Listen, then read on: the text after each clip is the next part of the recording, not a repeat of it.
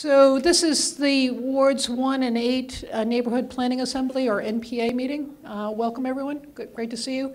At any point, if you're hungry, feel free to take uh, advantage of the food up here. I believe it's all vegetarian, Karen, is that right? Nope? There are beef samosas in one tray and veggie samosas in the other. They're from Six Man Kitchen. Okay. Riverside. And there's these little bread things, they're called mahamri. Yeah, so um, please enjoy. And we're going to jump right into this because uh, um, we're lucky to have the, the new president of the University of Vermont.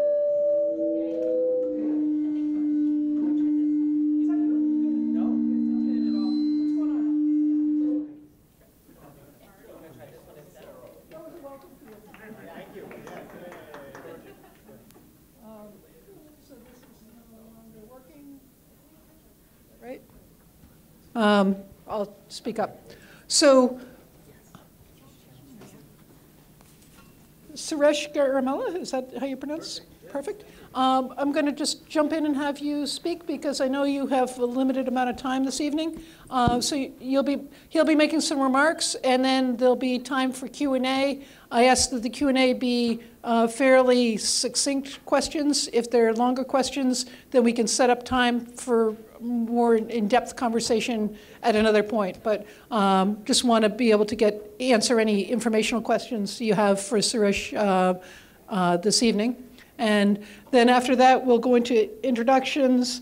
Um, we'll have a, a little bit of uh, business. Um, we'll have speak out of opportunity to make announcements and raise concerns. Uh, somebody from, from Burlington Electric Department will be here. Uh, we'll talk about uh, water resources issues, and the city councilors will speak. So it's a packed evening.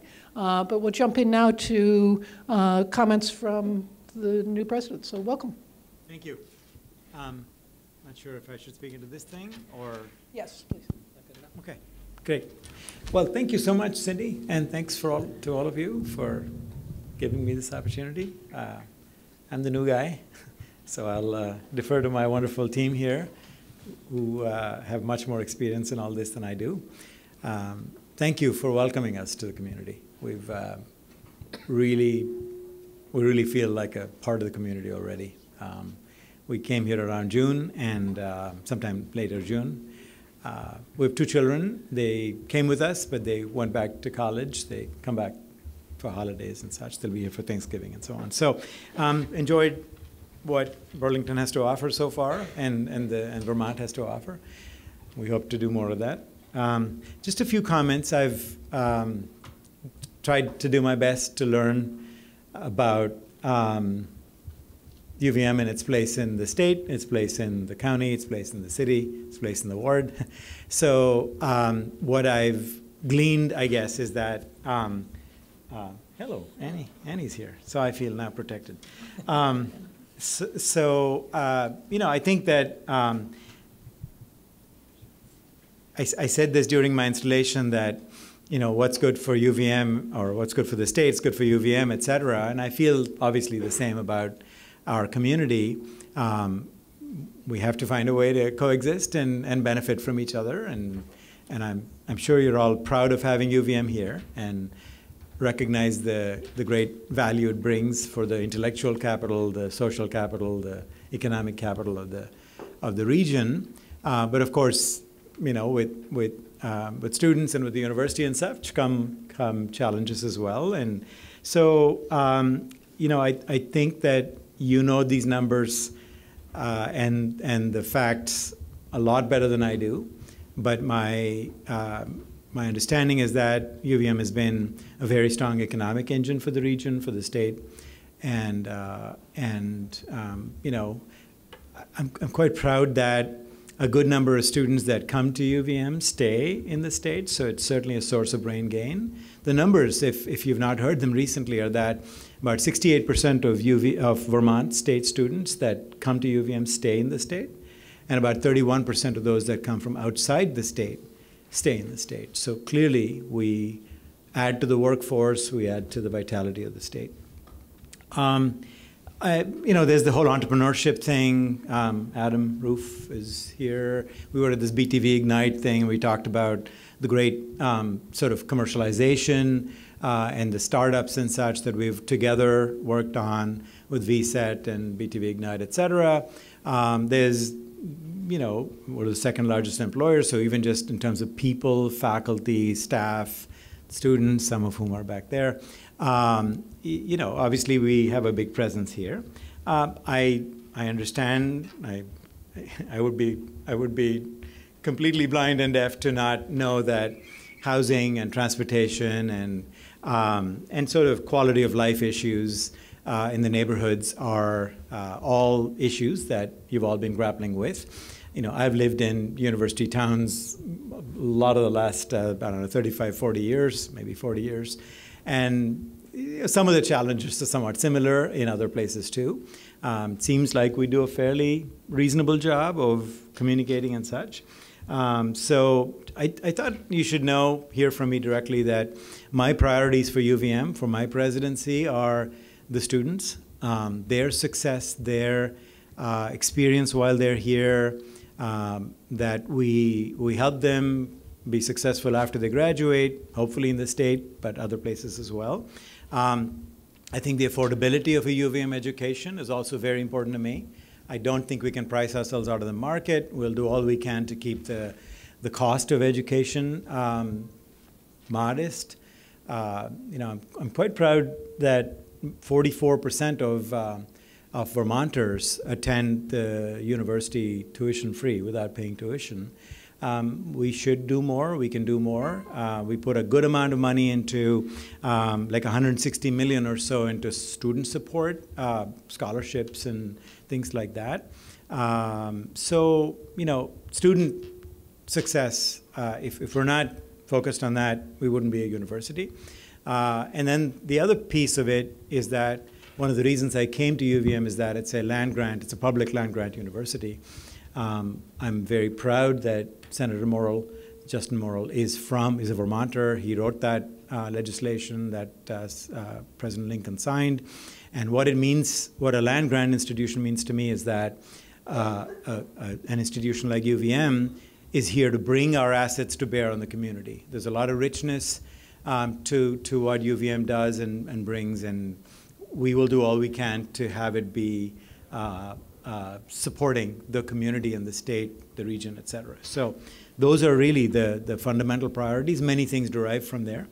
And so, uh, you know, we've had some good successes. Just recently, even since I came, we had a large grant that we announced um, to, for opioid treatment. Of course, you know, the whole state's suffering from that. The whole region is, the whole country is. But Burlington's um, treatment efforts are certainly assisted by that. Um, and so um, you know, again, I think that this quality of life issue is an ongoing uh, conversation that we must continue to have. I think there's been a fair amount of collaboration. Joe and Gus and others, uh, Lisa, uh, certainly have continued that conversation. Um, I, I, I, in terms of housing, which of course has come up many times in my conversations already, uh, you know, we house 63% of our students on campus um, which is a lot higher than most of our peers do, which is, which, which is a good thing. Um, we house, we require the first two years of, of students, the first and second year students, to stay on campus, which is fairly atypical. Typically, it's only the first year students um, that are um, that are required to stay. So I think I think we're doing some things. We've added 875 beds on campus in the last 10 years, which actually exceeds the number of the, the increase in students. Um, so I think that um, you all, you probably know that we've uh, been engaged in a study of housing. We have a consultant helping us, and um, together we're looking at so the, uh, the, the needs of our undergrad students, our graduate students, our medical students, et cetera. Um, and so we should have that report fairly soon. And as soon as we do, I'd like to have the consultant come in, perhaps make a presentation to this group um, so that you see what he has um, come up with and from what he's uh, learned from the students. And um, so, uh, again, I think this whether to house them on campus, off campus. Again, if we were able to provide desirable housing on campus, um, I think some more of our students could stay.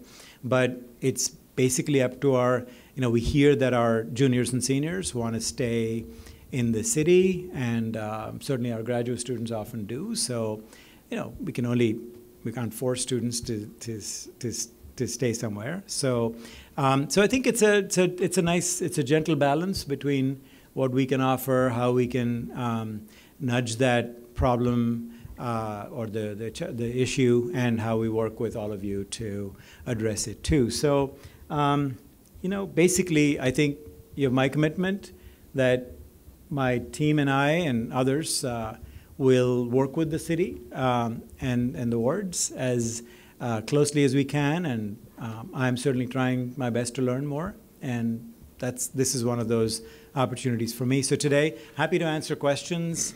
Um, most of them I may have to defer to Joe and Gus and Lisa and others just for the details, but you will also hear from me. So, uh, Joe, anything else I No, should be great. saying? Okay, That's great. Thank you, Cindy. That was. Is that is Yes. that okay? Yeah, Oh, thanks. thank you. So, y- yes? Yeah, so what I want to do is uh, first get the mic turned on. Is it on now? Yeah. Can you hear? It? Can you hear? Yeah, okay. Um, And secondly, w- I want to get a sense of how many people have questions? Could you just raise your hand if you have a question? Okay. So we have about 15 minutes. So we'd like to try to keep uh, each question to one or two minutes. That would be ideal. And uh, if we have more time, that's great. And if we need to ask this gentleman back, we can do that as well. So, um, Who are you calling a gentleman? sorry, I didn't mean to offend you. Hi, my name is Lisa Lax. I'm actually a graduate of the EDD program at UVM, and I'm along, and I'm a former employee. Um, So I have a lot of support for UVM. I think it does add a lot of vitality to our uh, community. However, housing is a big concern, and we heard something, I think, different at a former NPA meeting, just to let you know. I think we heard that the um, percentage of students housed on campus is closer to 50 percent. So uh, that's a little bit of conflicting information. And then the other thing that we heard is that the housing, I can, the occupancy rate is, like, you're pretty booked, all of your housing, which suggests that students do want to live on campus and that there may not be enough housing for them on campus. Um, So just, that's a comment, and I, it is something, it, it ha, it's a huge driver in terms of cost and, um, you know, quantity of housing that's available. So it is a big concern. You're- You're right to address it in your first visit with us, so thank you. Thank you, Lisa. You know, I, um, I've, I've uh, insisted on very careful checking of all the numbers that I've been using, and I'm pretty confident about the number, but I don't know where this 50 would have come unless something's changed. Joe? I don't know where the 50 would have come from either. We do have 63% of our undergraduates on campus, um, and we're looking at what other kinds of housing might be explored for undergraduates and graduate students on campus. You know, with the idea that if we build the right kind of housing, people will choose to live there. Um, and it could be housing for, you know, 20 something year old people who are going to, you know, want to live on campus. Um, so we, we hear that loud and clear. We do want to explore that. And then just in terms of impact, we know we have an impact on rentals in, in neighborhoods. We have about 3,000 undergraduate students living off campus. If there are 60% of people that are renters in Burlington, that's, I think the math that I did was something like 13 or 14% of renters are students. So while we do have an impact, it's, it's at about that level.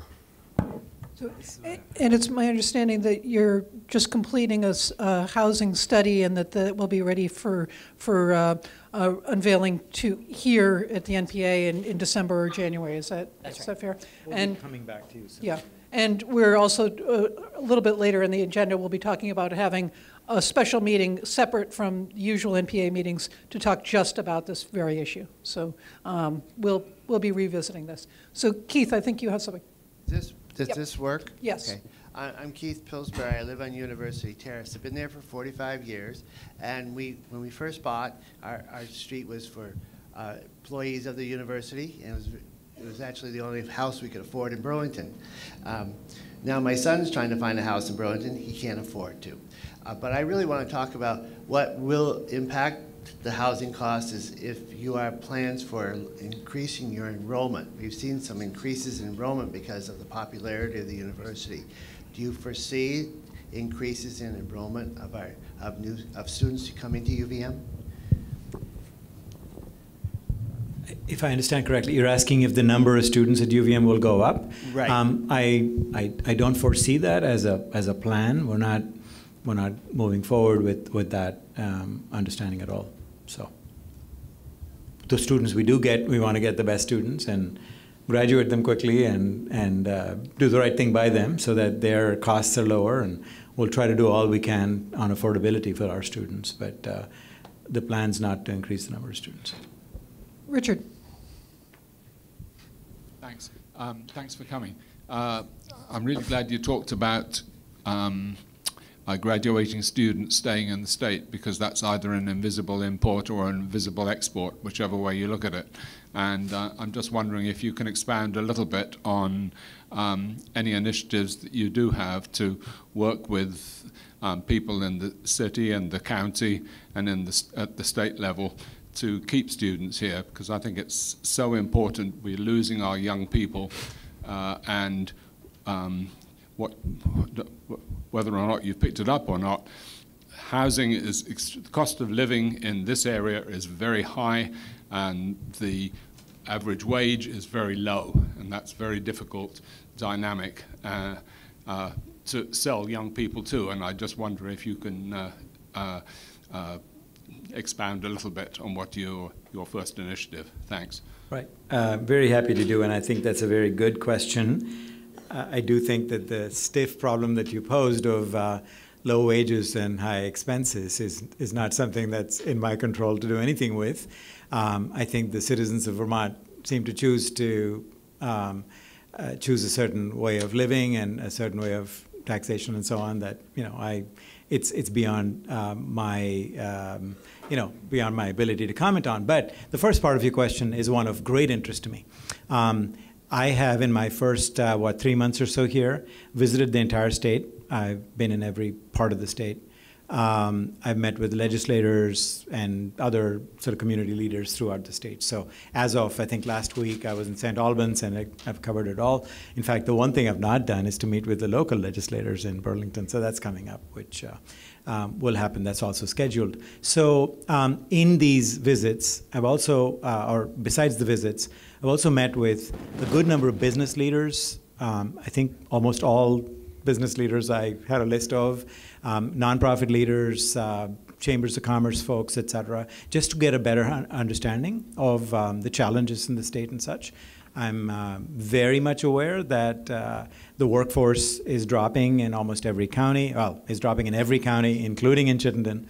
And so um, we need to do a lot. So I think one of the things I, um, I sort of briefly said up front is the student experience that I care so much about uh, means that we need to ensure that they're successful when they leave as well. So I think from their very first semester that they're here, I would like for us to have a better um, arrangement where the students are thinking about a successful career. So we'd like to connect them to internships and community service and service learning and so on. Um, the flip side of that is that employers in Vermont uh, also need to be, um, I, think we need to socialize with them how they can better engage with our students. If our students um, are in their senior year and haven't thought about a career in Vermont, they're going to leave. I think we need to have our employers, dairy farmers, maple farmer, whatever, maple, what are they called? Producers, um, et cetera, but, but business folks all sort of connect to our um, students all along and show them that there's a life, there's life after UVM in the state.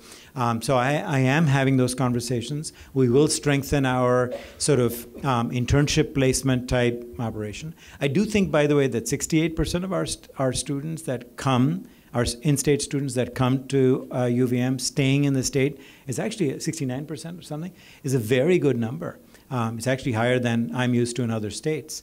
Uh, but I think the, the, uh, the fact that we add 30, 31% of out of staters uh, to the state's economy is, is a big deal. So I think the most direct answer to your question is trying to better connect our, um, our businesses, our you know, needs that are there in the state for people with our students. And we'll do that in a very deliberate way. So we have about five more minutes. Um, Sir, could you grab the, Sure. I- The, um, if Vermont still's not there, it was the, la- it was the 50th of all the states for state aid to the, to the uh, state colleges, if I remember right. We're 49th, I think. Oh, something. so we moved up one.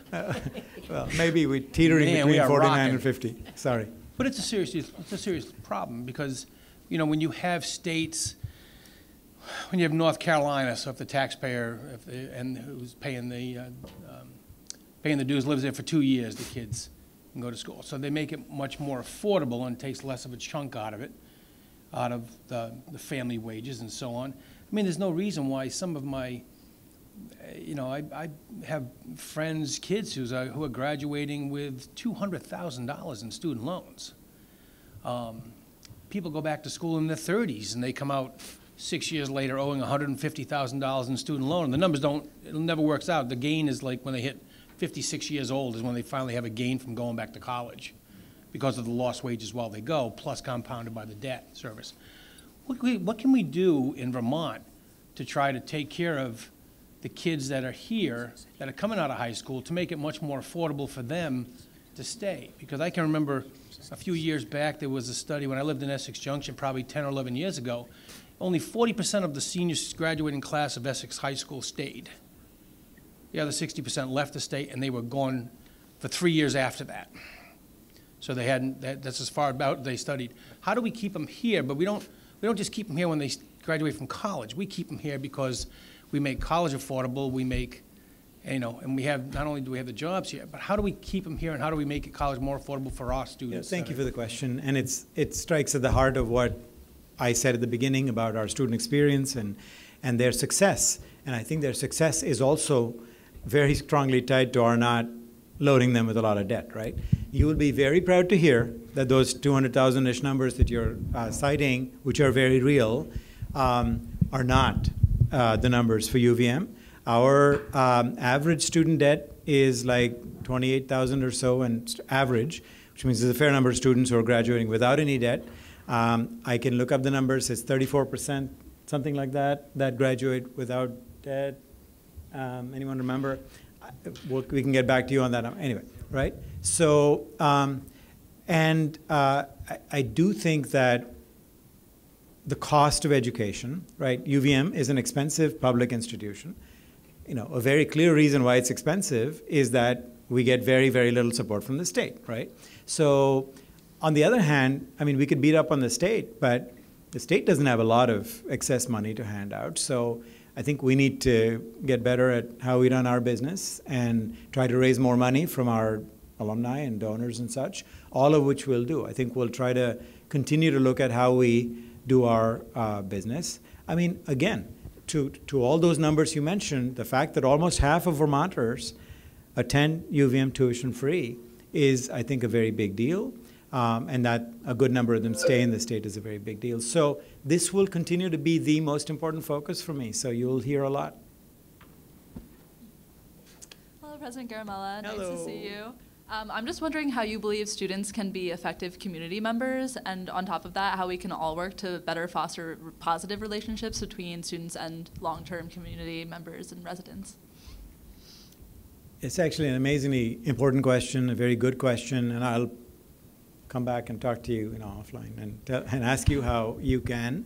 You know, I think that um, I'm hoping that in our conversations we get to a place uh, between the, you know, between the students, between us and the community, of um, recognizing how important each is to the other, right?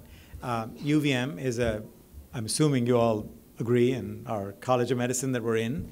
Um, we're actually having the legislators over here um, next week uh, to, to talk to them about what the College of Medicine does. So I think we need to be better at telling our story. Um, and um, we need to be better neighbors. I think that we invest a fair amount of money in neighborhood policing, it's patrol or whatever, right? Uh, kind of stuff. But you know, I live right in the heart of campus, and there's fraternities around, and you know, I've heard some noises around 4 a.m. But um, I so look, it's a college town in some ways, parts of it, uh, and I think we just have to figure out how best we can um, perhaps change the narrative a little bit. I mean, if this, if you as students end up feeling like the city doesn't want you here or want you in their uh, neighborhoods and such, that would be really sad. On the other hand, you know, if you could shovel your neighbor's driveway or something while you're staying there, um, maybe that will do some good. But um, I just, you know, I don't have a specific answer, but um, I just hope that the tone of the conversation, the the the way we interact with each other is respectful.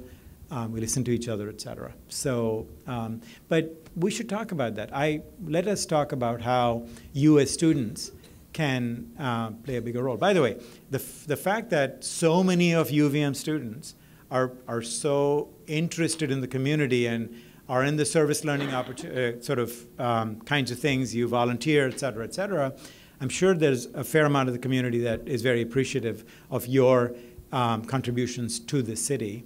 Um, so maybe we should celebrate those and Yeah. So- And one of the things I want to celebrate is that the number of students coming each, each meeting here is growing. And this, this is a perfect forum for that kind of conversation of, yeah, so, thank you. So we want to continue this conversation, and this is a great place to, to have part of that conversation. So thanks for coming. And thank you, Cindy, for saying that. That's, that's great. Um, Yes, could you, Keith, could you pass the, uh, Oh, maybe I'm good without it. yeah, no, it's for the, it? for Okay. Channel 17 Okay, as much as anything. Yeah. President Gurmel, thank you so much for coming. I'm course. wearing two hats tonight. I am, I'm a Ward One resident. I live on Mansfield Avenue. I also work for the city, and later tonight, I'll, uh, with my um, colleague and the general manager of the Burlington Electric Department, do a presentation on the net zero energy plan for the city. Yes. Which is essentially our plan to transition off of fossil fuels in the heating um, and ground transportation sectors. And before I sort of launch into my transportation piece, I do want to say that BED has been a repository. We, we work with many, many UVM students, many service learning classes, and it's, it's always a good experience. And we're one of these businesses that you can count on to help incubate um, students. So And thank you for that. I, I do know this. I've heard that you're great partners, and, uh, and I appreciate all that you do for our Yeah, students. Thank you. Anytime. We're looking forward to the spring semester when we'll have another cadre. But Great. I did want to mention, since you won't be here later for the presentation, that part of our plan uh, will entail moving off of fossil fuels and ground transportation, and more specifically, reducing vehicle miles traveled by 15% per household. So the things change in Burlington um, in August, late August, when the students come on campus and traffic increases sort of pretty precipitously. Um, so I say that um, as an opportunity and an invitation. I hope we can work together to figure out how we can incentivize students not bringing cars to campus and how we can celebrate this idea of a city that um, stands on the platform of multimodal transportation. I know students really appreciate that, and that's one of the key reasons I think that Burlington is so attractive, is because we celebrate our environmental sustainability, and I think reducing vehicle miles traveled is one Right. key component of that. I, I think you've captured the students' uh, ethos wonderfully well. I mean, certainly I'm, I've been hearing from the Student Government Association, everybody else, about their commitment to the environment, to climate change. You know, we've had the, the parades and so on. Wonderful. I'm all for it. I, my research is in renewable energy and in you know thermal energy storage from solar, et cetera, et cetera. So um, I'm a big fan, and um, you know we're investing more of our um, university resources in renewable energy, for instance. So very happy to. Um, to hear of this, uh, we pay for um, transportation buses, right? So, yeah, say a little about that, just in case. Sure, and Jim Barr's here as well and does a tremendous amount of work on, you know, TDM and, yeah, let's hear it for Jim, come on. He does a lot of work, he really does. We, you know, there's a lot that's been, there- there's a lot that happens, and not to get into all the details, but I'll. I've never seen anybody clap for the director of parking, so you must be doing something special. Before. And he's blushing, it's really cute. I know, it's very cute. It's unprecedented, I think. Um, but, you know, if you want to learn more, you know, go to Jim's website. Um, but to be honest, I just got involved in CATMA and just learned a little bit more about what goes on with TDM. We're offering so many different ways to get around now. You know, we have a shuttle that moves people around efficiently. Went to CNG shuttles, you know, some years ago before many other people did. Um, we're looking at other micro uh, uh, transportation as well, micro mobility with, you know, uh, bike share, with hopefully electric bikes coming. Um, and you know, we're doing the best we can to coordinate with other partners in the city, including GMT, on the best way to move people around. So, hear what you're saying, totally get that. And I think the city's going to be working some with the neighborhood project as well on, you know, how to move people around in a different way and how to manage parking and, and, and uh, mobility in the city as well. And, and I want to end on a serious note and say I walk to work every day. Good. Some of you know why that's a joke, but. okay. So, uh, thank you for being here. Um, I know you have limited time, so, um, and uh, obviously there's a lot to talk about, so uh, hopefully we can continue the conversation over time. And um, if you have additional questions, perhaps what the- what should they do? How, how should they be in Oh? I think it- Joe and others Yeah, are staying yeah. here, so of course, by all means, and Sure. we talk all the time. But I just want to thank you for the opportunity, thank all of you for the, the good discussion, and I think some of the questions that came up, and thanks to the students. I love you guys. Thank you for coming.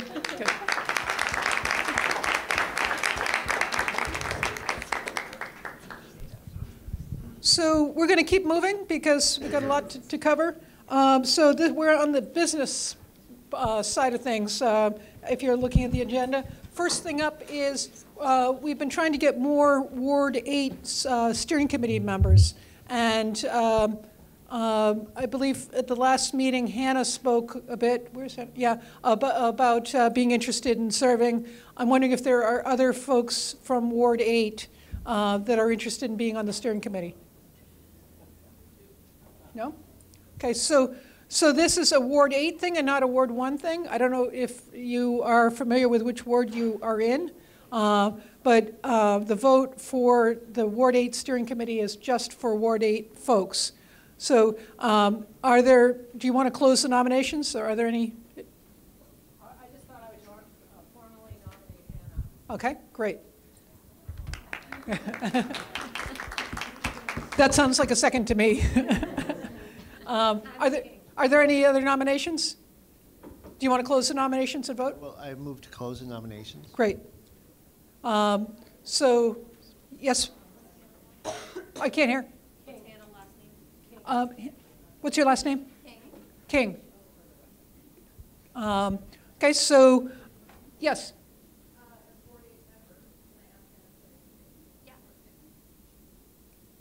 Make a statement? Yeah. Okay. Brief. Um, hi, everyone. My name is Hannah King, and I'm running for Ward 8 Steering Committee. I moved to Burlington last year with the intention of making this my permanent community. Throughout my time here, I've had the opportunity to engage with other wards through attending their, through attending their NPAs, along with staying informed and engaged with other city meetings. The reality is the relationship between permanent residents and students has been fragmented in the past, but just over the past year, I've seen that through productive conversation, we can not only strengthen that relationship, but create meaningful partnerships. Through my involvement with the Community Coalition, a monthly meeting which looks at neighborhood projects, I've had the opportunity to engage further with community stakeholders and look critically at issues affecting students and permanent residents alike. Along with that, this year I've been working closely with the BTV Low Barrier Homeless Shelter to organize a drive to provide the members in our community without a place to stay winter warming kits. If elected, I look forward to working not only with the committee members, but with all of you. Thank you.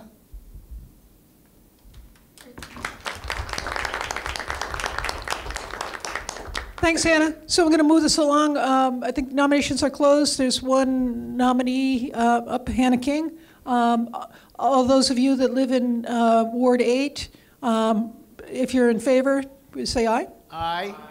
Opposed? Congratulations and condolences, Hannah. Glad to have you for a bunch of reasons. It's really, really especially nice to have uh, a UVM uh, representative here, and and so thank you. Thank you. Um, So, um, next up is a res- resolution regarding the safety of uh, pedestrians on East Avenue. and Karen's passing that around. Um, I've been, uh, the community has been circulating a petition asking that the city uh, take seriously the concerns regarding pedestrian safety on, on uh, the, particularly on the crosswalk at the top of Bilodeau Court that comes right up here to the medical center, which is very heavily used. And a month or so ago, uh, a woman was fairly significantly hurt uh, when she was hit by a, a vehicle um, and taken away by ambulance. Uh, a few days later, somebody, a vehicle stopped to, for, for a pedestrian in the walkway and was rear-ended. It's an ongoing issue um, where um, the steering committee is, is asking if this, this group wants to um, uh, endorse the resolution that is being passed around now. And uh, I guess I'll just read it for uh, whereas Burlington prides itself in being a walkable city, and whereas safety is of paramount importance, and whereas a pedestrian was struck within the crosswalk on East Avenue at the top of Bilodeau Court at 6:39 on October 23rd, and was injured significantly enough that she was taken to the medical center on a stretcher, and a car was rear-ended while stopping at this crosswalk just a few days later. And whereas a significant percentage of vehicles on East Avenue in this area have been documented to travel at a speed of 10 miles per hour or more above the speed limit. And whereas visibility is challenged at the East Avenue Bilodeau Court crosswalk due to vegetation and lighting limitations, and whereas over 100 people have signed a petition calling for action to improve safety, on East Avenue, and whereas a request for traffic calming for East Avenue was submitted two and a half years ago, therefore, we, we being the this group, the Neighborhood Planning Assembly, if it's your pleasure to endorse this, request that the City of Burlington take immediate action to make crossings on East Avenue safe for pedestrians by implementing measures such as removing vegetation on the west side of the Bilodeau Court intersection, improving lighting in the area, installing safety features at the crossings that improve visibility and slow traffic, such as rapid flashing pedestrian lights, stop signs, speed bumps, speed radar signs and other measures, and accelerate action on the request for traffic calming, move East up Avenue up on the complete streets queue, identify other crossings in the city that pose similar risks to pedestrians and take action, and direct the City Department of Public Works to prioritize improving crosswalk safety. So that's a lot. Um, so uh, we don't have a lot of time for discussion about this. Um, I think it's something that's come up a number of times in the past. I'm just uh, uh, looking to see if this group is ready to consider um, endorse, deciding whether or not you, you choose to endorse this resolution. Um, are you ready to, to have that? Yes, Sharon. I would like to move the resolution. Great. Uh, several seconds? Okay, so yes. And I just wanted to state that I know Jason Williams is here tonight from um, the medical center, but um, at a meeting that was here at the medical center, Dave Kelty mentioned um, the crossing at University Road. Um, where he referenced uh, a near miss between a car and a pedestrian. Um, that was news to me. I didn't realize that. So I'm hoping that um, that the medical center will look at that and see if they want to send a communication in support of this resolution that could be included when it goes to the city council packet. And I, based on your recommendation, I forwarded this resolution to Jason just uh, earlier today, so they haven't had an opportunity to run it through channels. Uh, but I think that's that's in process. Is that right? Yeah. Okay. Okay. So let's come back to the uh, NPA uh, take on this resolution. Do you, you want further discussion, or are you ready to call the question? Yeah. Really close to you. Do you want to use the word complete streets on this one? Because you could lose parking on East Avenue, and I know you're a big advocate for it, because you have some houses that don't even have parking.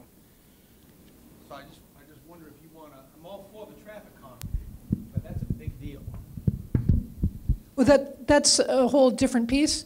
No, that- um, that's that- mentioned in here. It is mentioned in here, but, but that's something that, that isn't really being asked to be endorsed. It's something It that. is. It I- it right here. Well, yeah, but let me just finish. That um, um, there was a petition of a number of residents who asked that uh, DPW consider East Avenue as a complete street two and a half years ago, and that's, that's in the queue. It's nothing that we do here will affect that, that I know of.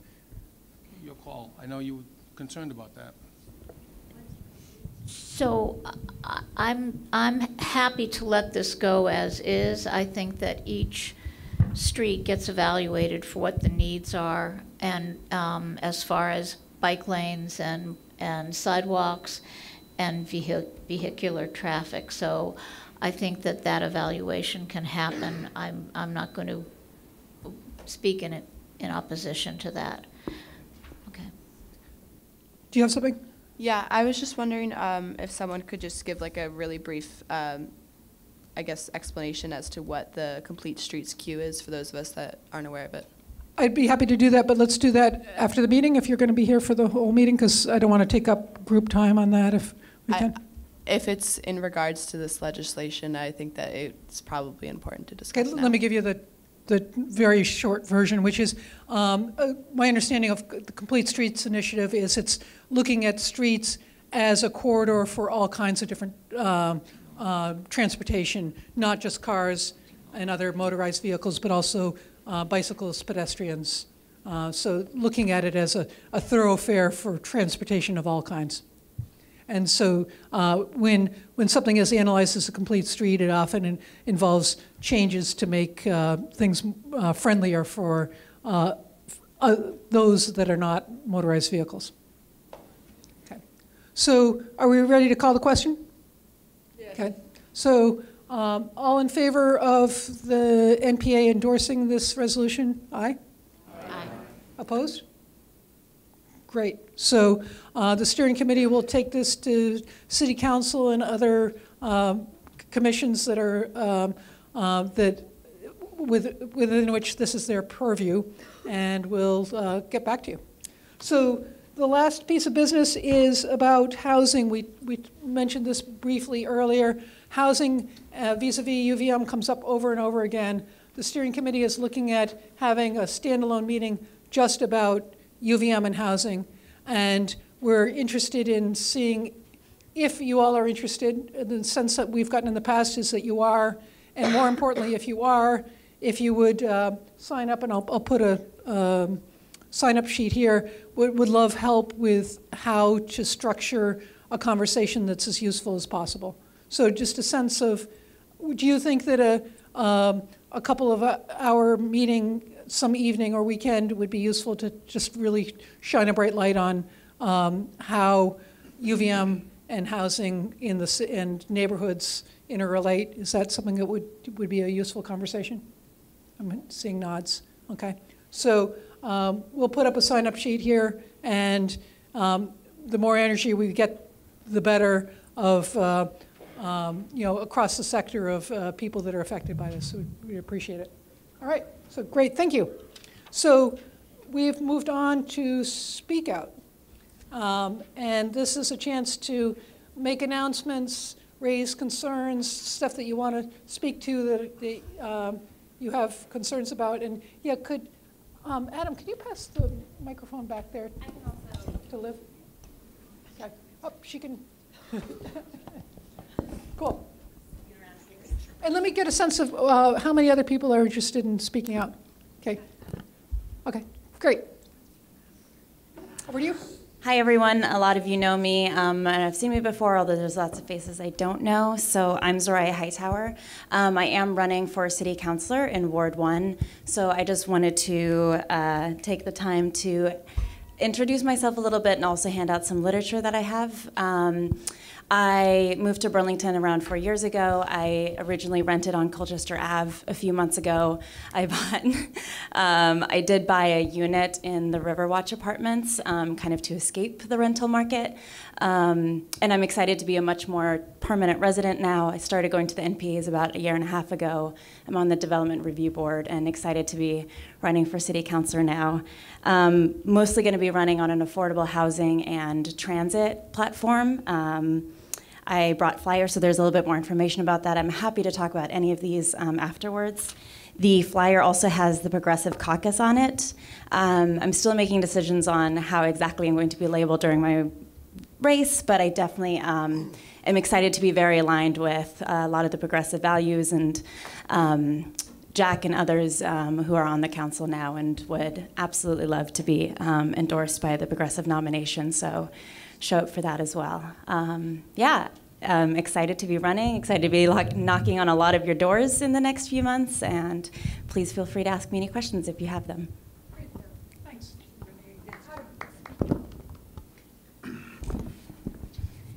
Um, I'm also announcing that I'm running for city council, but uh, I don't have a speech prepared. I just didn't want to use up my, my city council update time. People have been asking, wondering whether or not I'm going to run. I have uh, been doing this for almost five years, and I have a lot of energy left, and so I will be coming back and seeking reelection just to put that to bed. Um, I'm not focused much on it now. It's before Thanksgiving, but since the conversations are starting, I figured I'd just let folks know. Um, we'll be talking a lot more over the coming months, so I look forward to it. Great, do you want to say? You want me to, uh, well. Hi, um, I'm Sharon Bushor, um, and I had stated in October that I was going to seek reelection uh, for my seat in Ward 1. So I guess I will just restate that. Um, now that I am retired, I've found a lot more time and energy to put into issues um, for the ward, and I look forward to being able to do that. And just like um, Zoraya, I will be knocking on doors and interacting with you in a number of different ways. So thank you, and as usual, please feel free to reach out to me with any issues that you have on your mind. Thank you. Thanks. Keith? Um, I'm Keith Pillsbury. I'm the Ward 8 School Commissioner. I just wanted to announce that we're having a school budget forum uh, tomorrow night at 7 p- starting at 7 p.m. at Hunt Middle School. Anybody has some comments or concerns about the Burlington school budget or the development of the fiscal 21 budget, uh, that'd be a place to bring your comments and concerns. Hunt Middle School, 7 p.m. tomorrow night. Great, thanks. Go ahead. Hi, everyone. So I've been working alongside Sally and Skylar Nash to organize a month of giving to benefit the BTV Low Barrier Shelter downtown. In just over in 13 days, we've raised over $750. Um, we are collecting money donations along with a list of like various items to make winter warming kits to hand out to our homeless neighbors. Um, so I'm going to post on Front Porch Forum the list and also like send it out to whoever is interested if you would be willing to donate. Thank you. Was there somebody else over there that had something? No? Anybody else for speak out? Yes. Keith, could you, you just, yeah. Oh. I just want to thank our representatives from the police and fire department who come here. I think it's important that we get to know them and they get to know us, and I think it's important that we thank them for all that they do for us. Thank you.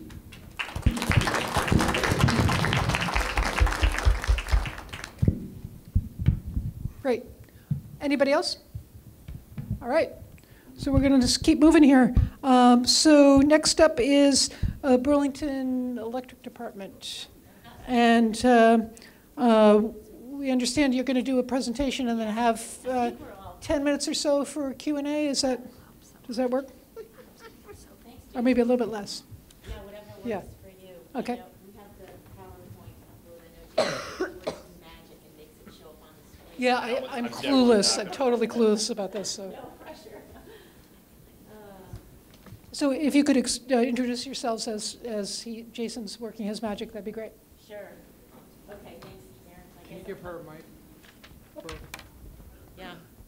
Um, Hi, everyone. I feel like I'm home. It's nice to be around the corner from um, Mansfield Avenue, and thank you very much for, for having us. My name is Jennifer Green, and I work for the Burlington Electric Department. I am the city's uh, sustainability officer, and I'm really pleased to be here with Darren Springer, who's the general manager of BED. We're here tonight to tell you a little bit about our net R, as in the city of Burlington's um, net zero energy strategy. And, you know, in other words, our transition off of fossil fuels in the thermal and ground transportation sectors. So let's see. Um, we're going to spend just a few minutes um, with Darren kicking it off, telling you a little bit, reminding many of you about BED's history in the community and our um, renewable energy portfolio. Um, then we'll tell you a little bit about some of the data that was uncovered during our roadmap process, our roadmap on how to get to net zero energy. Um, and then we'll wrap it up with um, a summation of some of the programs and initiatives that we have through BED, which um, are helping us as a community um, reach this, this major milestone. Darren. Hi, everybody. It's great to be with you. Um, I'm not a Ward 1-8. I'm a Ward 7 resident, but uh, good to be here. And um, uh, for those who may not be familiar, and, and for some who are, uh, we're Burlington Electric. We're your public power municipal uh, utility, uh, electric utility. We have about eight, 118 employees between our Pine Street offices and the McNeil plant uh, down at the Intervale. Um, we are uh, in the process of going our 11th year now without having raised rates. Uh, so we're, we're doing uh, a lot on the fiscal side, try to keep rates steady. Um, just some statistics here. Uh, you know, we're unique in Vermont that we have about uh, three quarters of our customers are residential, 60% of our customers are renters. Um, but if you think about our energy use, about uh, three quarters of our electric use is coming from our commercial customers. Um, so we have a lot of renters, which is unique for Vermont. Uh, we also have a significant amount of electric use uh, in the commercial sector. Um, you can see here, McNeil uh, Power Plant is the largest energy producer now in the state of Vermont uh, after Vermont Yankee was closed in 2013. And um, you know, we are, and I'll, I'll mention on the uh, couple slides from now, but we were recognized as a community in 2014 being the first community in the nation to source 100% of our power uh, from renewable generation. Um, we're real proud of the work we've done on energy efficiency. Uh, this is a photo from last year's energy efficiency calendar contest. Uh, all the fourth grade public schools uh, have the opportunity for kids to participate and compete in the calendar contest. Uh, this year it's going to be the Net Zero Energy Calendar Contest, reflecting our work on net zero energy that we're here to talk about uh, today. Um, we have, as a community, since uh, the 80s, been investing in energy efficiency. And uh, you know, in 1990, we had an 11.3 million dollar bond for energy efficiency. Um, we are using approximately 6% less electricity today as a community than we were in 1989. Uh, the rest of the state is up around 8.4% during that time period. The country is up almost 30% during that time period. So if the rest of the country was on the Burlington trajectory, uh, you'd be talking about more than 200 coal plants worth of energy that wouldn't be needed uh, nationally. So we start all of our work from a foundation of energy efficiency, uh, having made progress there, and we're saving roughly 12 million annually on electric bills uh, through our efficiency work for our customers, uh, and have invested between our customers and BED about 70 million over the last few decades in energy efficiency. We also, as I mentioned, we are 100% uh, renewable. Uh, this um, graph, or pie chart really, on the on the far side here uh, shows our different resources. Roughly a third of our electricity is from the McNeil plant, uh, so biomass. Uh, about a third of our electricity is coming from hydropower, um, some of which is local from the Winooski 1 uh, hydro facility, uh, as well as other Vermont-based hydropower facilities. And uh, we get a little less than a third of our electricity from wind. We have two projects in Vermont that we get power from and one in Maine. And we have a small but growing slice of our uh, energy, you can see it in orange here, uh, coming from solar. It's 1.4%. Uh, uh, the year prior, it was 0.3%. So it's actually growing pretty rapidly. And we were recognized uh, as a community by Environment America for being the top community per capita in solar in New England and number four in the United States.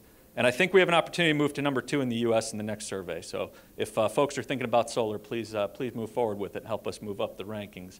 Um, we're here tonight to talk about net zero energy. I'm going to turn it over to Jen, and then I'll uh, take it back in a few minutes to talk about some of our incentive programs. Great, thank you, Darren. Um, so, sort of building on this portfolio of 100% renewable electricity, it was time to take it to the next level. And this is when um, the mayor announced that we were going to take on the next big, audacious task, which was to build on that platform and transition essentially, as I mentioned, off of fossil fuels in the heating and ground transportation sectors. So really ambitious. I think honestly, um, I haven't heard of another city that has a goal um, quite this audacious. There are lots of cities that are focused on net zero energy in buildings, but to add the transportation component is, is really significant and I think something we should all be proud of. Um, we knew that we couldn't do it alone. We couldn't do this roadmap in-house. So um, make a long story short, after a fairly elaborate uh, request for proposal process, um, we selected uh, Synapse Energy Economics um, to conduct the roadmap for us, and it was released um, in September, and I appreciate many of you were, were there and uh, st stood in support of the, of the roadmap. Part of um, Synapse's efforts were to first assess sort of business as usual and where we are vis-a-vis our energy use in the city. And then it was to come up with sort of concrete pathways that we could follow that would help us sort of see the, the light at the end of the tunnel vis-a-vis uh, net zero. So sort of quick and dirty 20,000 foot analysis. Um, as you can see, um, our energy in Burlington overall sort of divided up into four sections. However, um, this sort of grid line um, looks specifically at transportation that's originating outside of Burlington, so not something that we in the city have a whole lot of control over. Um, if you look at the two gray sections, you'll see building, both commercial and residential uh, with, with internal transportation, i.e. travel in, in and around Burlington represented by the, by the black slice of the, of the pie. So if you take this grid section out, you'll see that we really need to focus on buildings primarily and then um, transportation as well. And you know, by the way, it was great to have the president here and to be able to, um, to hear what he had to say about um, our work together on uh, the transportation sector vis-a-vis -vis UVM. So as I mentioned, the first order of business was to look at where we are regarding energy use. The business as usual case, which is the black line across the top, shows a small sort of decline in energy use. It's not going to be quick or fast enough if we're really going to transition to net zero and indeed um, reduce carbon emissions. Getting to net zero by 2030 is going to be a pretty significant lift, as you can see. It's a, it's a fairly steady decline in, in, in um, um, as, as demonstrated on the chart here. Just for kicks, we wanted to see what it would look like to get to 2040. And you can see, again, it's precipitous, but not nearly as um, sort of, again, audacious as our 2030 goal. Audacious and exciting, I would add. Um, one of the exciting pieces to me of this roadmap is the degree to which um, transitioning to net zero off of fossil fuels is going to have a huge carbon impact for our city as well. Um, indeed, we're going to have to move off of petroleum uh, as well as, as natural gas. And when we do, we will have decreased our emissions um, over sort of 50% in, in both cases. Um, the last slide I want to show you um, is a sum summation of what we're going to need to tackle. So if you think of um, our whole roadmap as a pie with different slices that we're going to have to take on, the first and biggest slice of the pie is going to be the building sector. Indeed, we're going to need to electrify about 60% um, of our buildings. This will mean, particularly from a heating standpoint, moving away from, from gas in order to do that. The second piece is electrifying vehicles the, uh, when I see a new car sort of, uh, you know, on Mansfield Avenue, I think what a lost opportunity. So as we're purchasing new cars, we really, we need to make them electric. Um, third, and of particular relevance since we're here um, up at the medical center and near UVM, is this component of district heating. 15% of our challenge will be um, the district heating component, of which you know, Darren can speak more of if there are specific questions. Last but not least is this emphasis on um, multimodal transportation. As I mentioned to the president, we're going to need to transition ourselves away from driving to the extent we have, to the extent that we can. Indeed, 50% um, uh, vehicle miles traveled reduced um, per household. Um, I'm going to give the mic back to Darren and let him talk about what we've got going on to help support this work. Great, thank you, Jen. Um, I want to say thank you to our city councilors. Uh, the city council passed a resolution supporting the net zero energy efforts uh, as part of also declaring uh, a climate emergency. And uh, at BED, we are we had already been doing a number of programs to help customers transition to clean energy technologies. Uh, we launched some new ones as well. Um, you can go to our website, burlingtonelectric.com, uh, to read the roadmap report and to check out all of the different incentives. Um, in particular, I want to mention we have an incentive program essentially across all modes of transportation. So uh, our e-bike program has been very popular. Uh, there are six local bike shops where you can get an instant $200 off uh, of an electric bike, electric assist bike, uh, which can be used to commute around the community. I know we've got a few e-bikers here, I think, uh, as well, uh, and Jen's one, and I know Jack as well. Um, EVs, plug-in hybrids, uh, we have incentives for new and pre-owned uh, electric vehicles and plug-in hybrids. If you haven't driven an electric vehicle, uh, we are working on opportunities to make those as affordable as possible. Uh, they're a lot of fun to drive. Uh, they're very efficient, and uh, there are a lot of different models out there, a lot of all-wheel drive models coming on, so there's, there's good models for Vermont's climate. Uh, we also are working with Green Mountain Transit to bring the first two electric transit buses to their fleet uh, this year. We've provided incentives for those. So we're trying to electrify across all modes of transportation.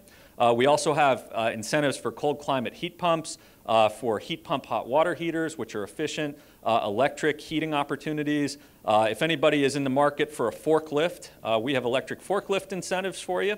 And as well as we've had a very popular electric lawnmower incentive. if it uses energy, we want to make it electric as much as possible, and we're trying to help make that happen.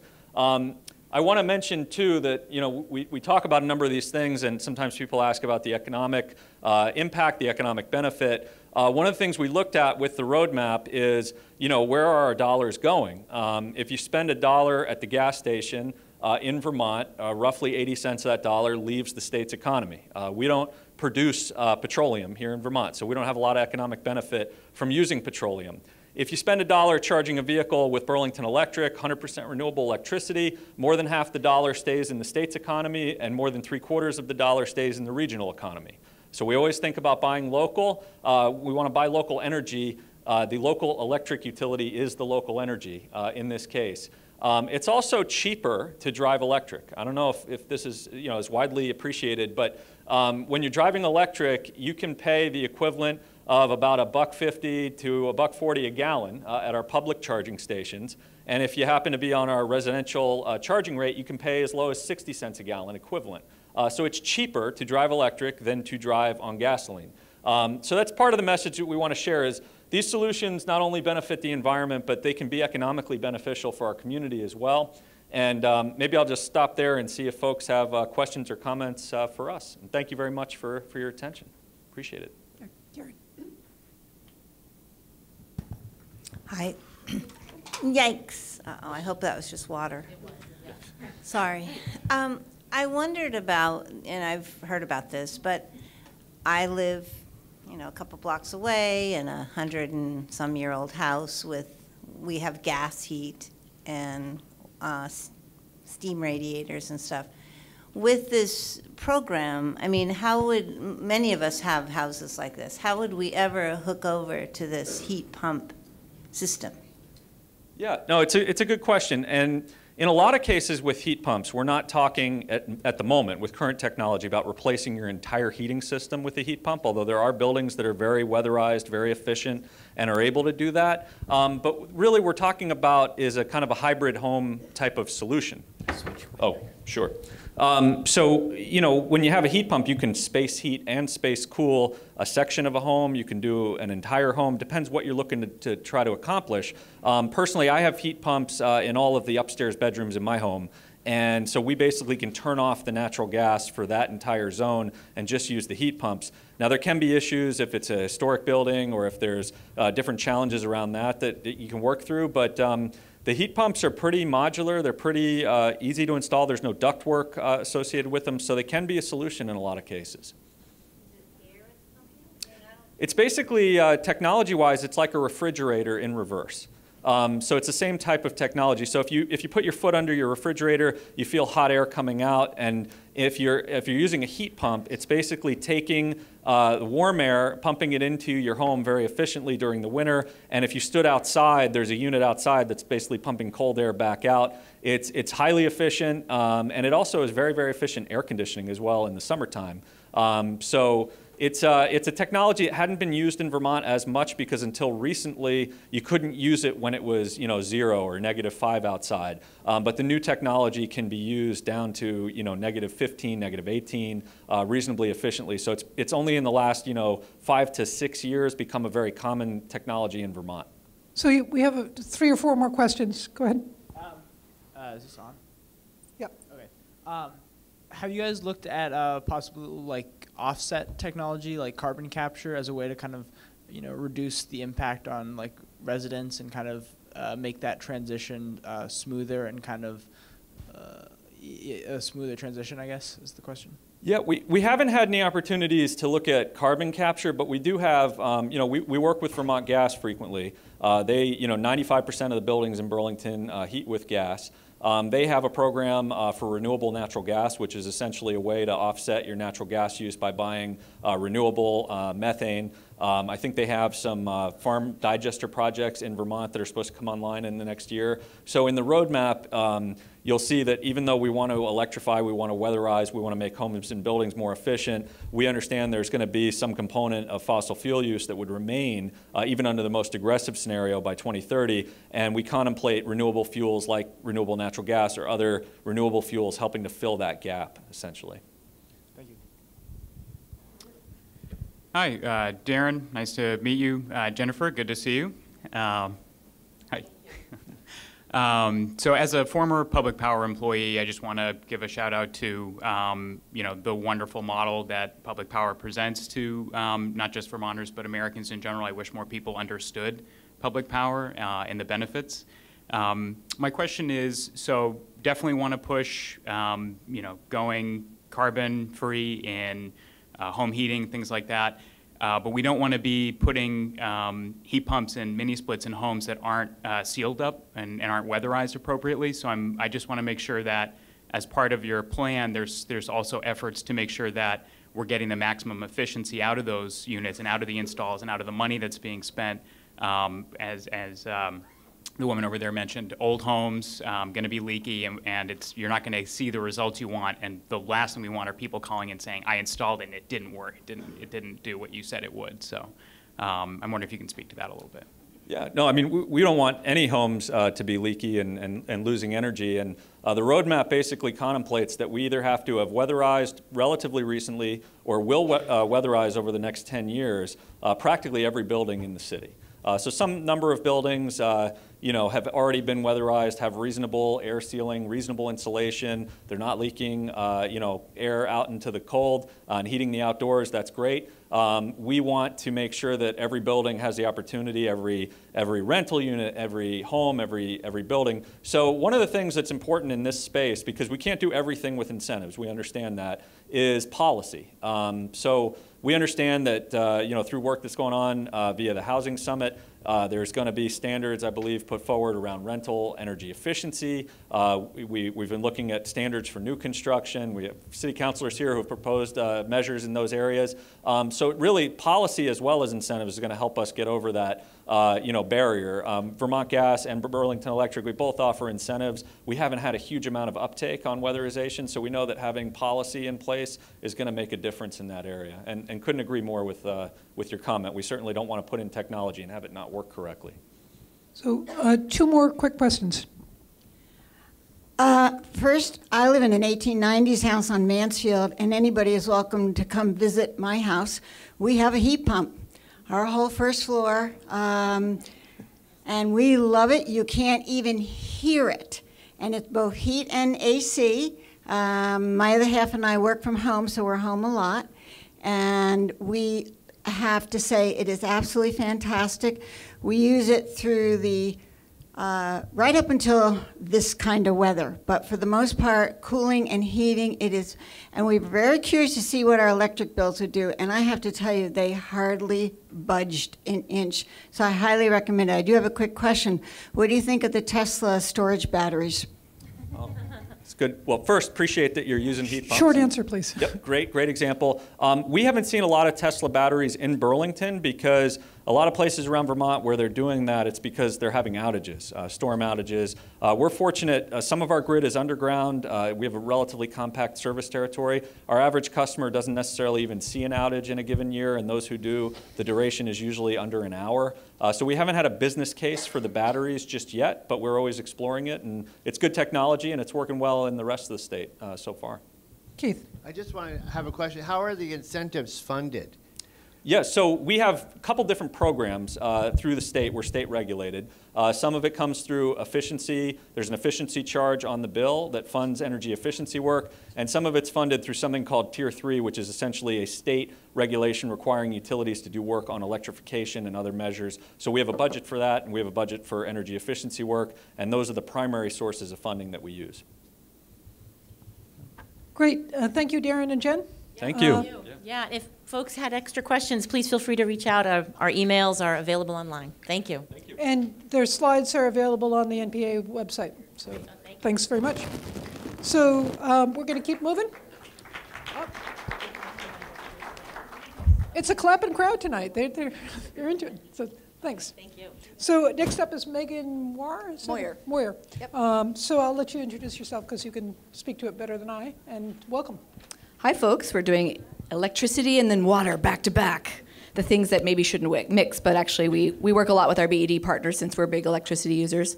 So I'm Megan Moir. I'm the division director of uh, the Water Resources Division. So I run the water, wastewater, and stormwater utilities. I've been with the city since 2009, first as a stormwater program manager, and then in the last three years, get to be in charge of all of the waters.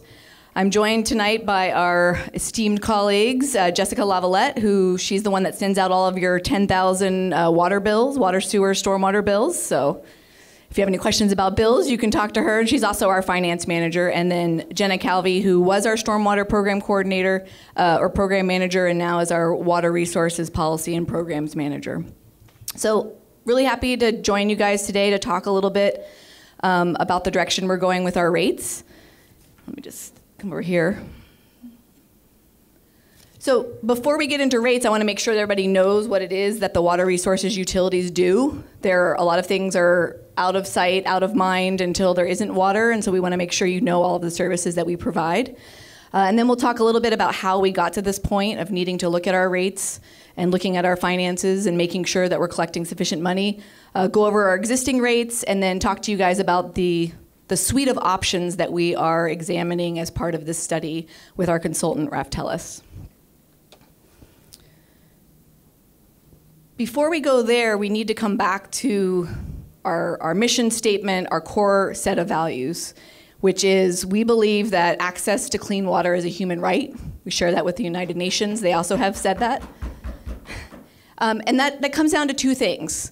First, to make sure everybody has access to clean water, we need to make sure we are stewarding our infrastructure. We need to make sure that we are resilient against climate change, we are resilient against water main breaks. We, we're taking care of things in a way that, yes, we're going to have outages from time to time, but generally speaking, everybody's going to have access. The other piece, though, is this affordability of services. And sometimes these are a little bit counter opposites, right? If we need enough money to take care of our systems, that means we have to get the money from somewhere, and we are solely funded by ratepayers. And so we're kind of looking at this little bit of a conflict and trying to figure out how we're going to manage that. Because we don't want people having to decide to buy medicine or buy food for their family because they are afraid of being late on their water bill. They need to be able to do both. So stepping back a little, um, water resources is not funded by any of your taxpayer dollars. It is what we call enterprise funds. They're operated as little businesses, and in fact, each of the three utilities, and those are the budgets, it's over about $17.4 million in total. Each utility has to collect its own money. So when we charge you for your water bill, we're not taking the water money and spending it in wastewater or wastewater money in, into stormwater. They're, they have to be self-contained uh, units. Um, as I said, there is no reliance on, on property services. In total, we serve um, 10,000 connections, so there's 10,000 uh, wastewater or water lines that go into people's homes, and that serves over you know 42,000 42, people in Burlington and a small part of Colchester. We do sell some water to Colchester, and that's sort of a leftover from the old days where we actually provided water to a lot of the surrounding communities. We currently have 43 full-time staff, of which we have those two amazing ladies back there. And then stepping into the specific functions, what we worry about day in, day out. The Water Enterprise Fund, its main purpose is to make sure we withdraw very good, clean source water from Lake Champlain, remove the particulate matter, uh, make sure it's disinfected, and then pump it up the hill to the rest of the community. Uh, secondarily, it also has the benefit of providing fire protection. So the, the levels at which we pump at, the amount of water that we can provide to our hydrants and to fire sprinkler services is what enables the city of Burlington to have good insurance rates because the insurance companies know if there's a fire, there's going to be sufficient flow to put on that fire and put it out. And I was hoping our fire guys would still be here so they could cheer us on. Um, uh, you know, I've listed, and we actually have copies of the presentation in the back if you want to take one home. I'm not going to go through all of our different infrastructure, um, but you know, we have a lot of it. A lot of it's underground. A lot of it is extremely old. We're still looking at 42% of our pipes being older than 75 years, and almost 25% being older than um, 100 years old. And pipes generally are only supposed to last around 75. Moving on to wastewater. Um, Wastewater, we're trying to really call more water recovery. That's what it is. You're, you're taking clean drinking water, you're sometimes adding not so clean things to it. It has to get to the wastewater treatment plant where we then strip out the sewer parts, the black water parts of the, um, of the sewage, and also, and also treat the combined sewer flow, which is the stormwater mixed with the wastewater, before we discharge it back to the lake, which, as you remember, is our drinking water source. Uh, we have three wastewater treatment plants uh, 25 pump stations. It's also an extensive collection system, which is also very old. Oh. And I just want to show this. My, my wastewater guys, they often talk, to themselves, talk uh, uh, of themselves as bug farmers because this aeration system, that's where all the bacteria live. It's the bacteria that come from soil, it comes from your gut. Those bacteria are really what do the work of treating the wastewater. And since I was a stormwater geek, when I became my current role, Steve Roy, my um, mentor, was like, "You're gonna love wastewater," and it is it is so fascinating what happens and how the water actually gets cleaned. It, it baffles my mind every day. Moving on to stormwater, which is sort of the, the baby of the siblings, of the water siblings, right? Because people didn't used to think about stormwater until we started realizing that stormwater actually has a great deal of pollutants. So in 2009, Burlington had the foresight of creating a stormwater utility. It was the second in Vermont. And the stormwater program functions or uh, focuses on two major things, which is reducing the amount of pollutants that's in the stormwater. Even though stormwater looks cleaner than wastewater, over time and the extensive volume, let's think about the Halloween uh, storm 2019, that was an extensive volume of water that was all carrying different pollutants, phosphorus, um, uh, other nutrients, bacteria, oils, and grease. It doesn't, you know, Gallon for gallon, it's not as concentrated as wastewater, but over time, the excessive load also has impacts on the lake. The other thing that our stormwater program works tirelessly to do is reduce the amount of stormwater volume that's going into our combined sewer system. We do still have combined sewer overflows, which is when uh, the stormwater gets into the pipe where the wastewater is, and sometimes it can't fit through the pipe, and there are these relief points. We have five remaining ones, and one in particular is continues to go off uh, more frequently than the others uh, Pine Street Barge Canal. That's the one that went off in the Halloween storm. Um, but those relief points are there so that it doesn't back up onto the roads, it doesn't back up into as many people's basements as it would otherwise. So it is an unfortunate part of our system, but it is there for a reason. I don't like to say it's intentional, but it is as the system has been designed in the past, and it's, some, it's a, a historical legacy that we're dealing with now. kind of getting back to that stewardship piece, for a long time, in my estimation, we weren't doing such a great job of stewarding our infrastructure. We weren't investing in replacing and repairing our infrastructure, except when it broke. And you can see as of uh, FY17 into 18 into 19, with the support of the mayor and the city council, we've really started to start spending the amounts or close to the amounts that we may need to spend. Um, in FY20, you can see some additional bars. That is the, the um, Clean Water Resiliency Plan, the bond, the storm, stormwater and wastewater bond that 92% of voters, which was an awesome number. It was great to get that, that uh, support um, so that we could start fixing our older plant and start fixing some of our existing infrastructure. So, you know, we started off with our water mains in FY17. We're working on um, our elevated tank. So the elevated tank that is here on the UVM campus, which I know a couple of you had mentioned that project caused more noise than either we or you anticipated, and we can talk about that later. Um, and then we'll be doing the Redstone tank, which is on the Redstone campus. But we're also underway with designs for replacements of our disinfection system. That was one of the things that failed in 2018 at our wastewater plant. um, the SCADA PLC, which is the computerized controls. It's the brain, um, the, the, the motherboard, if you will, of the, of the plant, which failed. And uh, we're also looking at our pump station and collection systems. We're also doing that on the stormwater side, looking at our existing infrastructure. I want to stress that this effort is primarily about keeping our house, our current house, together, and there is a separate effort going on to figure out all of the new stuff we are going to have to do to meet new regulations to make sure that we're cleaning up the lake. This is really about keeping ourselves from backsliding. Briefly, even though we think of those, those utilities as three separate utilities, we are a one water utility organization. Um, water itself is one water. It doesn't matter, you know, you can't think about wastewater without thinking about stormwater or, or drinking water. And so a, a large number of our, our functions, uh, planning, oversight, engineering, billing, administration, are all under one, one roof um, and under one you know, set of leadership. You know, this results in overall cost savings as well as some more holistic thinking. So why do we need to look at our rates? Um, mostly because as I start to look at our budgets in recent years and in future years, I am concerned that A, we need to be taking a hard look at making sure we are uh, collecting enough money so that we can continue this level of reinvestment in our infrastructure.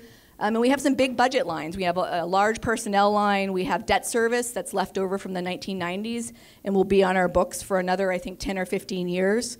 Uh, we have electricity costs. Uh, getting rid of our biosolids, um, which is the sludge component, the, the solid component of our wastewater, those costs are going up every year. And so when I start to look at that, I think, okay, we need to buckle down, do some really amazing, detailed financial planning, and then really look at what those rates are going to have to do in order to collect that money. So fortunately, this lined up with where the council was at when we had come to them requesting um, some rate increases for some additional staffing.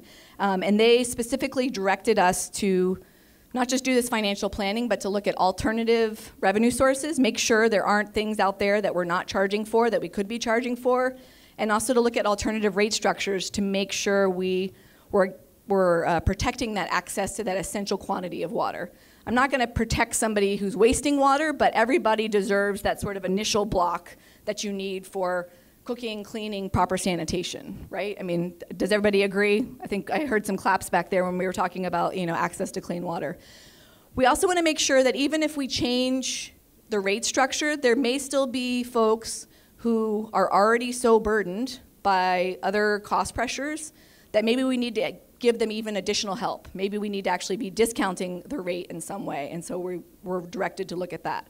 Uh, and then, of course, the City Council wanted to make sure, since this is going to impact um, the entire city, all of the ratepayers, that we did a lot of uh, um, outreach and engagement. We've had a public meeting, a sort of general public meeting, and now we're visiting all of the NPAs. So with that, we hired um, Raftelis, which is a uh, consulting firm that their bread and butter is water resources utilities and specifically this type of rate work. And we endeavor, we're endeavoring to make sure, A, that we're fully recovering all of our costs. So what are all of the things we need to be collecting money for and are we getting all of the money that we need to get? Making sure that we're recovering those costs in an equitable, equitable way. Um, right now, and when we look at the rates, you'll see everybody pays the same rate. Doesn't matter whether you're a business or whatever. Everybody's paying the same rate. And there are certain folks who are getting different benefits. Um, and so we want to make sure that there may not be a better way to, um, to charge people for that initial block of water and make sure we have that essential access, but then to look at some other rate classes in a different way um, just because well, we'll get into that. and then lastly, uh, maintaining that affordable service. So changing the rate structure and also looking at affordability programs. Who, who here knows how much they pay for their water bill a month? Sharon. How much do you pay? Do you know? Yeah, about $50. About $50. Anybody else know what they pay? 80. Oh, okay. We have some leak detection kits back there just to make sure that you're not using more water than you need to. So, so Sharon is in the range of a very typical single family residential customer, uh, using about 400 cubic feet a month. Um, when we meter, we charge your wastewater based on how much water you use. It's relatively difficult to meter the wastewater going out, and so we assume, and this is very typical of all utilities, that the water you use is what's going out, generally speaking. Now, of course, you're drinking some water and maybe you're using the bathroom elsewhere, but on balance, it generally is the right, right amount. Um, and then for stormwater, storm, a stormwater fee came about in 2009. If you are a single family, duplex, or triplex, you pay a, fat, a flat fee, which is based on the average amount of impervious surface, hardened surface um, that is associated with those classes. And everybody else uh, gets assessed. We actually use satellite imagery to measure the amount of impervious and then charge per uh, thousand uh, square feet of impervious. So, as I said, right now, everybody pays $4.44 for 100 cubic feet of water. So, 10 by 10 room, one foot deep, that's 100 cubic feet of water. It's also 748 gallons. Some of the things we're looking at include looking at the Right now, our rate structure doesn't include what they call a standalone fixed charge. A large majority of our costs are fixed. It doesn't matter if, if everybody here in the entire city decided to not use our water system on a given day, my costs would be very much the same because I still have to have my people, I still have to have the pipes, I still have to have access to that water. There's like a readiness to serve um, charge. And so we're looking at whether or not there may be utility in moving some of those fixed costs that are on our expense line into a fixed cost on the, um, on the revenue side. And then there's a number of other charges that we are looking at. The majority of these do not or would not affect any existing customers or residential customers. They're largely um, for folks that are more in the commercial setting um, or people who are building new buildings. The things that will affect, and hopefully in a positive way, uh, residential folks would be looking at a lifeline volumetric rate. So instead of charging everybody the same, no matter what amount of water you're using, potentially we would look at setting an initial block of water, potentially 400 cubic feet, which is that sort of typical usage, at a much lower rate. So that if you use the typical amount of water that a residential customer uses, you're actually going to get a, a, a smaller um, you're going to get the same amount of water for a smaller amount of money. Um, the flip side of that it would be that then if you use more than that, you would be getting charged more for that block of water. It's very similar to what the electricity and I think gas companies do. Um, the other piece would be potentially having different rates depending if you're residential or you're commercial. That's one thing that we're looking at. And then lastly, this low, low income customer assistance program. We've developed some models and tools so that as we look at the different rates and how they change over time, we can look at that lowest quartile income level, the people who are really below the federal poverty limit, who are having trouble making ends meet. And even though we've made those other changes to the rate, if they're still paying a large percentage of their income just for a water bill, how can we discount that?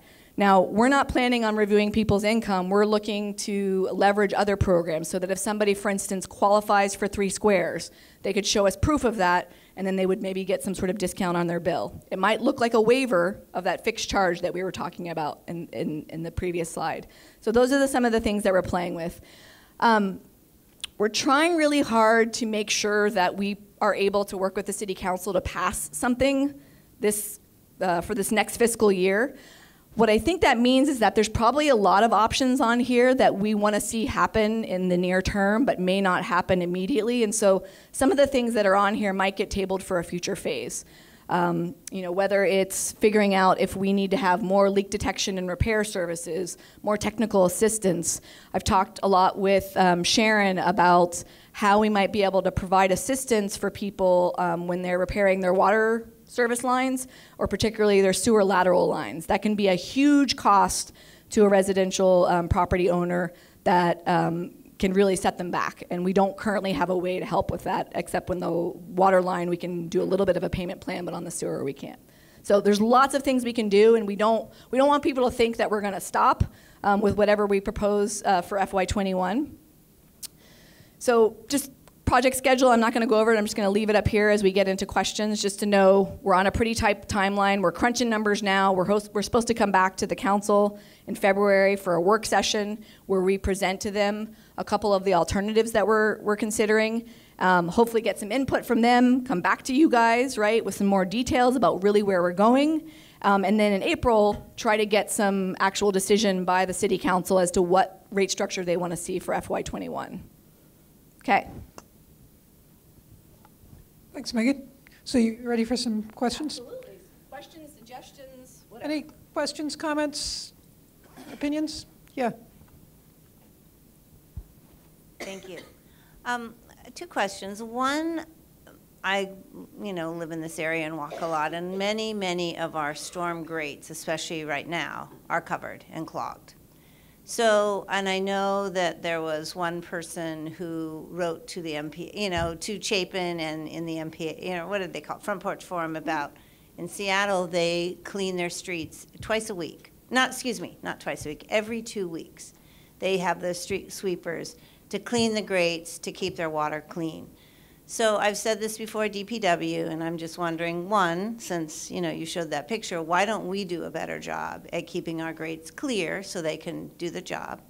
And then my other thing, which you know me well about, is that with zoning, we do not enforce lot coverage, and we do not um, keep grass so we have permeable space. We've got, you know, even our green belt. We own that city green belt. So much of our green belt is not permeable. So to me, that is a huge loss of soil. I mean, I see the difference in living here for 40 years of the water running down Henry Street. So to me, that is a lost, just a lost thing that we should be doing with our, and that's the zoning office. I know that. Right. Code enforcement. So your first question on the the cleaning, I, that kind of falls into the stewardship category, category, and right now we don't have the staff or the resources to clean in the way that other communities do. Um, it's something that I and Jenna will certainly be working with DPW on because um, street sweeping has many benefits, not just providing a cleaner, more aesthetically pleasing, better for bicycles, but uh, leaves are phosphorus. And so there are communities in which they've shown um, a more frequent leaf sweeping or street sweeping program um, could really have great benefits on the phosphorus side. Um, it gets into the sacred parking because in order to do that, in some of the lanes that have the most leaves, we would have to post parking. We would we would end up being like other urban cities where on the you know certain you know first and third Monday of every month you just don't park on that side. So it's going to be a huge undertaking and trying to wrangle the parking beast is going to be painful, but um, I think it's important. And you know I agree with you on the need to maintain pervious surfaces as pervious. It is a zoning issue. Um, I, th- I think it's something we still, we're, we're interested in trying to figure out. We just don't know really the best way to go about it from the water resources perspective, even though we wholeheartedly agree. So keep up, keep up the pictures because, you know, they do tell a thousand words. A couple more questions. Go ahead. Um, just, uh, is this on? Um, Sounds like it. So, when there's new development that's proposed in Burlington, do we have limited capability or unlimited capability to take on new development? I, I'm very familiar with development where you don't have town water and town sewer, and I know a number of bedrooms, I mean, there's a, we have to go and ask first, is there capability, you know, in the soils? So do we have capability in our town, our city, to, I mean, what is the limitation of what we currently have? Or do you not get asked that question when there is development So, proposed? it's a great question. Um, anytime new development comes, they do have to come to our office and get a capacity letter to verify that we in fact have capacity to serve on the water side and capacity to serve on the sewer side. While our plant gets stressed during storm events, main plant, the one that's down on the waterfront, um, from a dry weather, from an actual sewage pr- processing capacity, it still has a million of its 5.2 million gallons available. So we aren't having trouble with the willing or the ability to serve the sewer component. What we've been doing though is leveraging those new developments like Cambrian Rise as city or um, city place, whatever it looks like. Um, when those come through, we are making them take off even more stormwater than our regulations would other require. So any development, even if it wasn't increasing its wastewater, if it was increasing its impervious surface or redeveloping impervious surface, it actually has to make things better at the end of the day, almost like a regenerative development concept. But those ones that are really adding a lot of wastewater actually have to go above and beyond and either take off more stormwater from their site or they work with us to find a project or pay us so that we can take off more water, so that we're constantly trying to regain some of the available capacity in the pipe. Does that answer your question? It's something we have to keep our eye on on the wastewater side, but we're not to the point of getting to like, oh no, we can't have any more and we need to build a bigger plant, right? Okay. So we have at least three more questions. okay. And, uh, but we have a limited amount of time. I'll answer in haiku only. Excellent. And uh, also, I've been asked to, to, to point out that there's some uh, poster boards back here that have uh, a lot of information, so please take advantage of that. We will stay here until the last question, so we'll stay here until 11. If you guys want to talk water all night, we're your, we're your gals, so Wow, that's a commitment. Okay, go ahead, Jack. All right. Thank you all. Um, really continue to be really just impressed by the amazing work that you all do over there. Um, and I'm just curious a little bit more about the rate structure um, in terms of so making it cheaper for the initial kind of uh, essential services or the normal amount that folks would need. And then can you talk a little bit more about where we would then make up that revenue? So I think one thing that comes to mind is like kind of the more luxury uses. Can we go Yep. much higher on that? And also new development. Is that an opportunity to bring in additional revenue? Does that help us on the revenue side? And also just maybe really quickly, if you can, speaking to the issue of like, especially for a new multifamily, like the metering issue in terms of breaking it out by unit and things like that. Okay. That's a lot, but I will try. So, um, yes, if we make it cheaper for that initial block, we have to regain the money somewhere else. Our first turn of the wheel is going to make is going to see a can we get more efficient with any of our costs? We are doing an efficiency sort of analysis, and or can we provide more services for the same cost? Um, but then one of the other things is looking at all these other fees because that could create that could create the initial nugget that would offset the decrease in revenue from that initial block or residential. Um, to the extent that it doesn't, it does it does mean that somebody else is going to have to pay more. So between the folks who use a lot of water um, in that next tier or a commercial property, the thought being that a commercial property um, if their if their water increases, it's not affecting their ability to live. They will have to account for that in their cost of their goods. Um, it's going to be a fine line, and that's some of what we're going to have to work on with the council. Is how much do we do the teeter totter? Uh, as far as new development, there are a couple of things on here that would help. So connection charge. Right now, we do a lot of review of new developments, and we don't necessarily charge for all of my staff time, all of the engineering time. The other one, which we could, we used to have a sort of capital recovery charge, not really an impact fee, but a, a system buy-in fee. So you all have been paying for the infrastructure and the debt service, and there's a way of sort of when a new person comes along, having them buy in to all of the other investments, the equity that has been built up. Um, the last part, I think the meter one we'll probably need to talk about with Jess. It, it is complicated. I think he's talking about the fact that multi unit buildings often have only one water meter, whereas they have multiple electrical meters. And so it is a little hard if you live in that type of building to be in control of your own water usage because your neighbor could be guzzling water and causing your entire building to use a lot of water. I think that's what you're getting at, and there isn't really a good answer yet. So. In the back? You don't need. Did have a- Oh, okay, I thought it was a, I thought there was a switch. Um, Hi, Megan, uh, Kai Forlie, I'm founder of Yep. Waterwise Vermont, and I just have a couple comments, or questions, I should say. Um, First is, you kind of zipped right over the slide that referred to the uh, city's biosolids. Yep. uh, uh, Not program, but, but what we produce. Um, 10,000 tons. Yep, and in, in your analysis um, of future revenues, expenses, whatnot, um, how much have you looked at potential exposure uh, on the part of the city and I guess on the part of your department um, to um, potential land contamination by land applying that sludge? Currently, it's sent to a small community in New York State and spread on farmland. And obviously, there's a big issue uh, nearby in Maine with, uh, with PFAS and sewage sludge and land that's permanently contaminated now in farms and whatnot.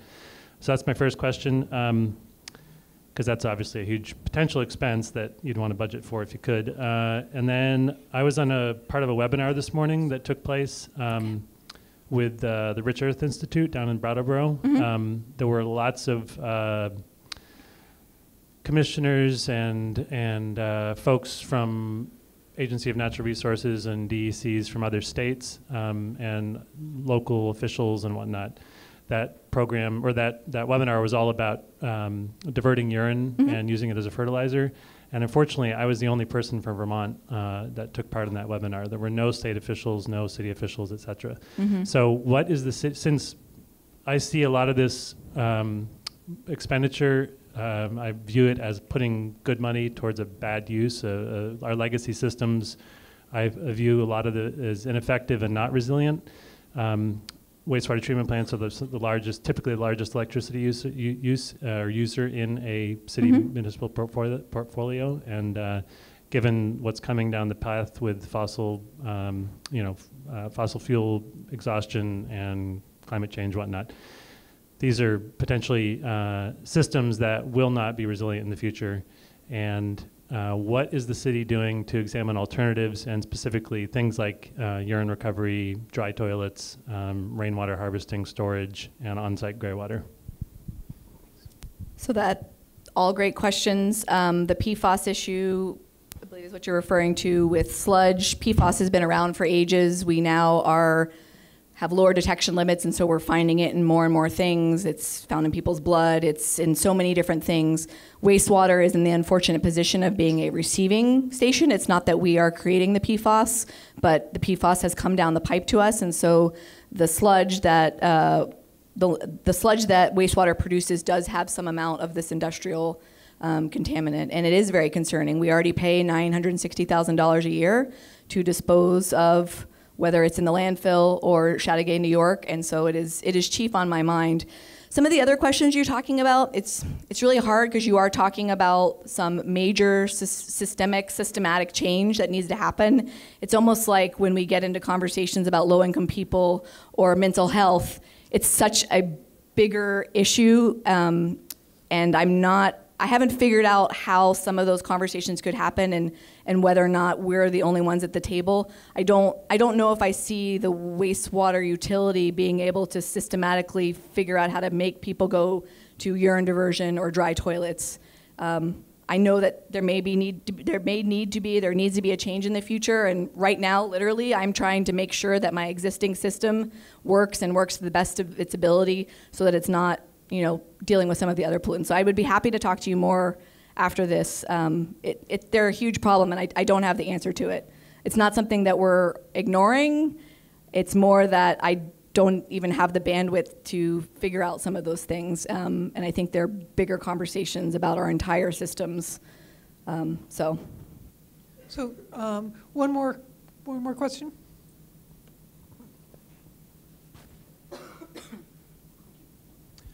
Um, I, I own some apartment buildings, and I have a, a large property at 18 units that has a single water meter. Mm-hmm. So nobody owns the, the responsibility for the water but, but me. Yep. Right? When I had the electrical redone on that property, Burlington Electric would not let me put in a single electric meter. Their reason was that it takes away the buy-in from the tenant, mm-hmm. and they'll misuse it. So the AC stays on all the time, and so on. I have other townhomes down on Hyde Street that are all individually water metered, and those people are calling me, asking me for water restrictive, for uh, the, uh, the um, aerators for the faucets and the showers, and how else can I help them save money and everything else.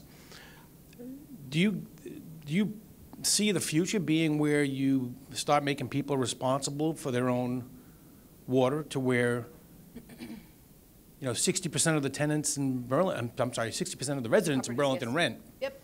Right? And I would imagine many of them do not see a water bill.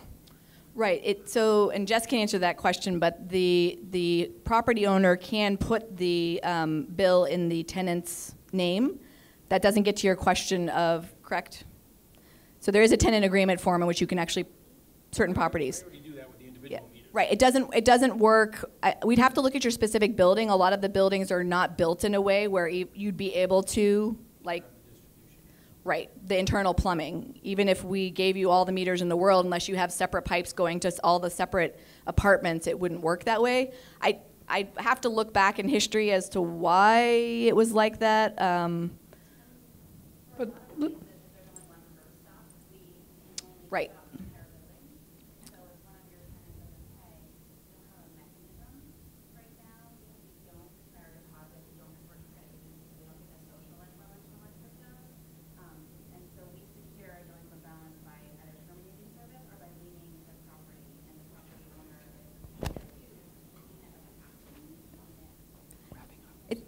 I think, I mean. So I'm, I'm ways- gonna, gonna um, cut us off here because you can, um, I'd encourage you, you, s- you're gonna be here till 11 o'clock tonight. 11, So, midnight, whatever. um, you can have a more extended conversation with folks as, and we really appreciate that commitment. It's like, talk about public service, really. A few snacks it. left, right? Yeah, So. Yeah.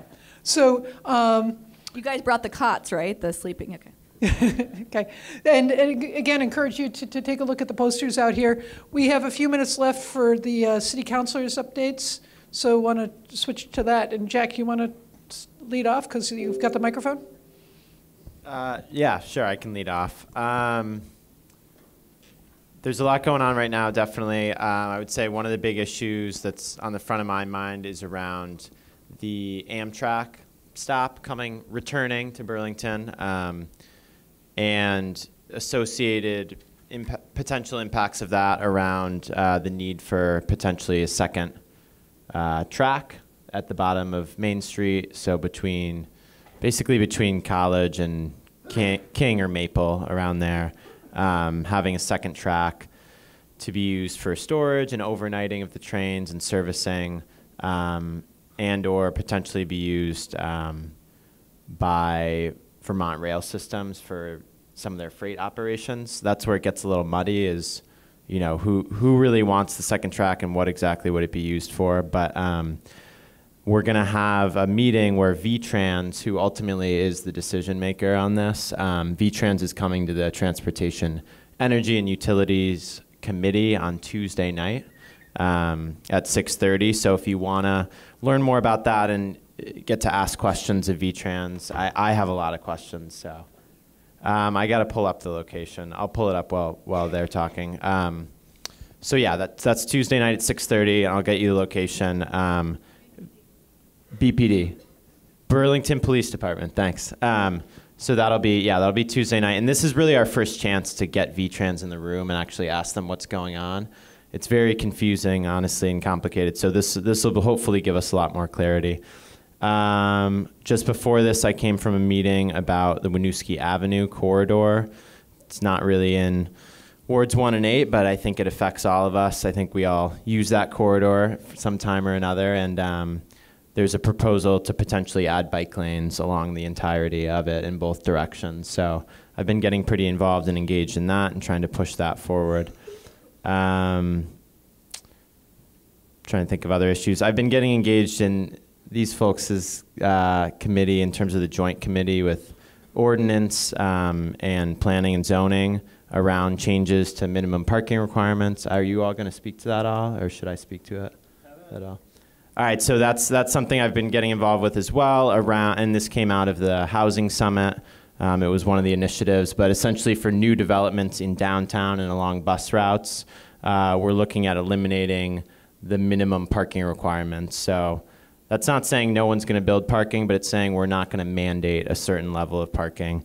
And the additional component of it that we're now looking at and that I've been really advocating for is getting developers to um, also implement transportation demand management uh, mechanisms. So kind of like what UVM does with the free bus passes for affiliates, um, you know, charging for parking, um, offering discounts and things like car share or bike share programs. So really doing a lot of things to help shift folks' behavior in terms of how they get to and from that development or that space. Um, so yeah, those are I think three things that are really critical to the future of transportation in Burlington, and for me, that's really a top priority given that transportation is the biggest um, source of emissions in Vermont and continues to increase. Um, so I think we really need to crack that nut if we're going to get serious about the climate crisis. And Vermont's emissions continue to go up, and I just saw uh, a couple articles about how all of our neighbors have reduced their emissions since 1990. So New York, New Hampshire, Massachusetts, and Quebec have all reduced emissions. We're up 16 percent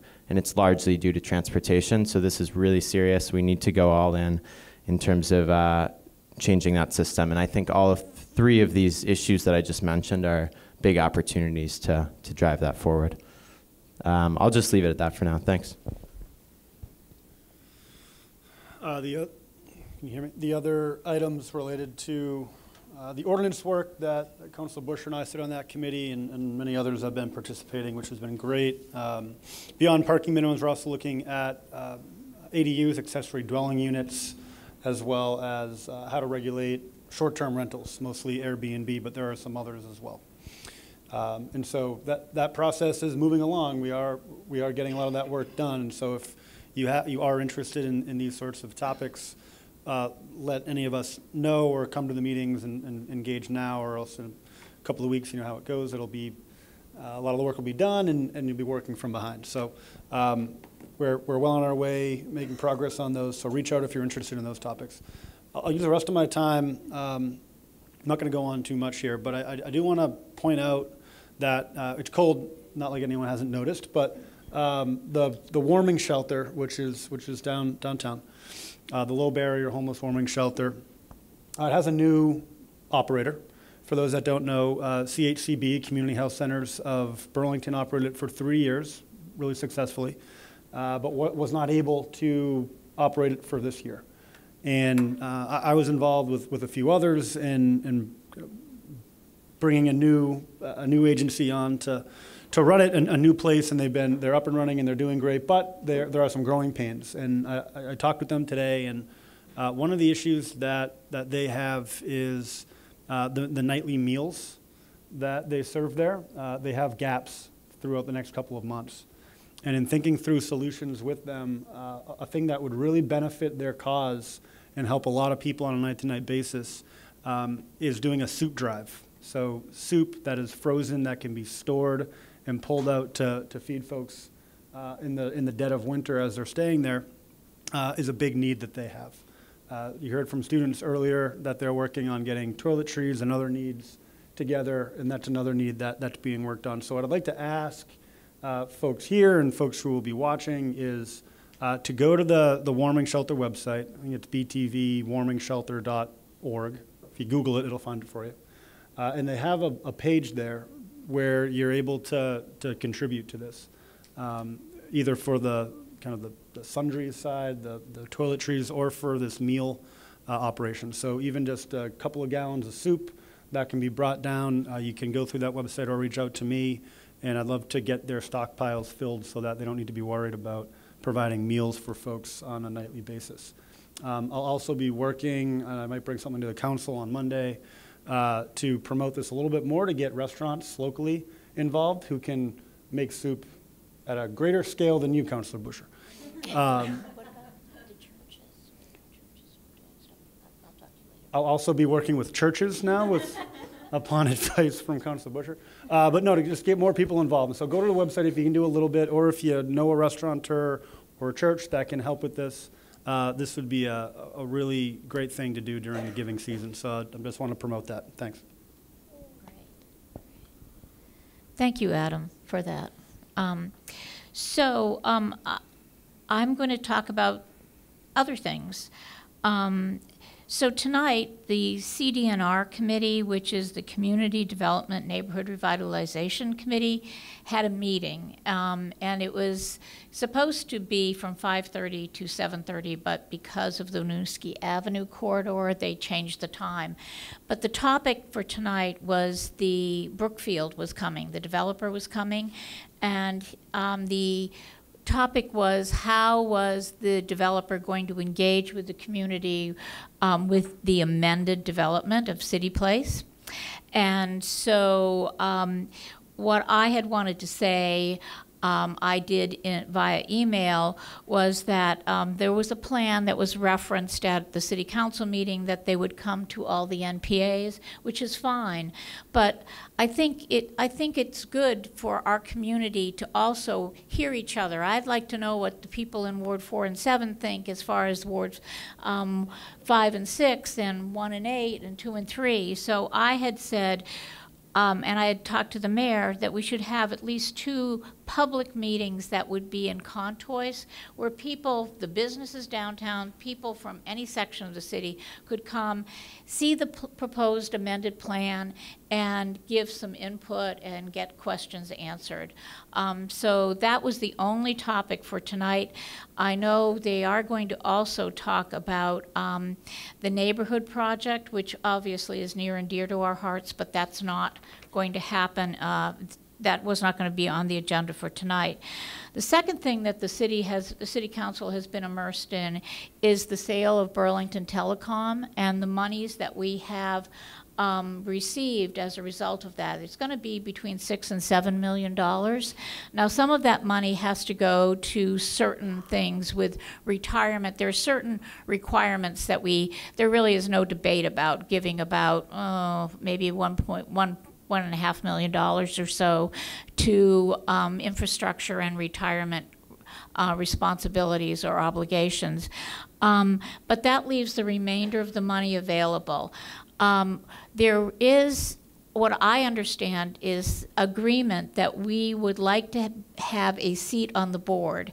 And to do that, we have to buy a certain share, 7.5%, which is about $2.4 million.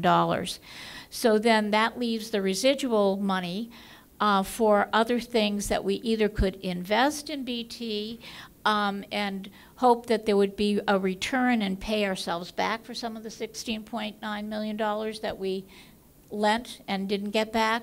Or there are other ideas out there.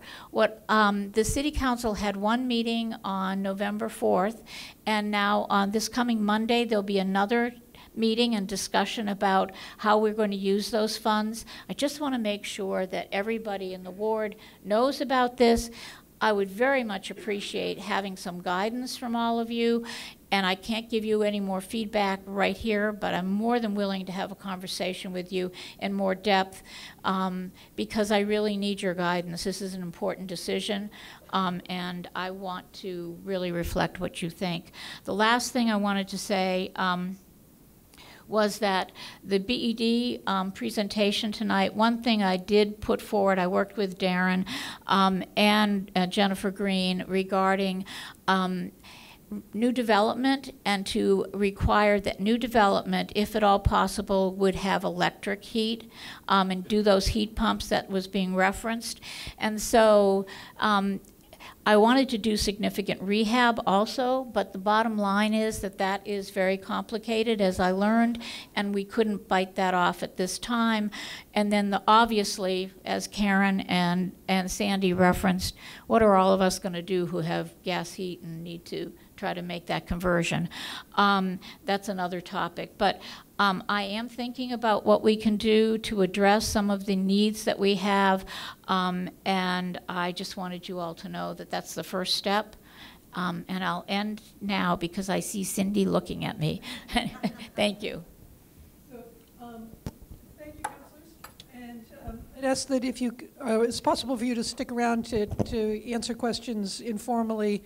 Um, if you, for a few minutes, that would be great. But I know it's, it's a little bit after nine, and uh, I've been encour- strongly encouraged a number of times to try to wrap up at nine so that people that need to get home can get home. A couple quick I don't things. usually drive, s- but I did because where, what time does that garage thing go down? I don't know. Ten? Ten? Okay. Okay. Okay, so you, so you're safe.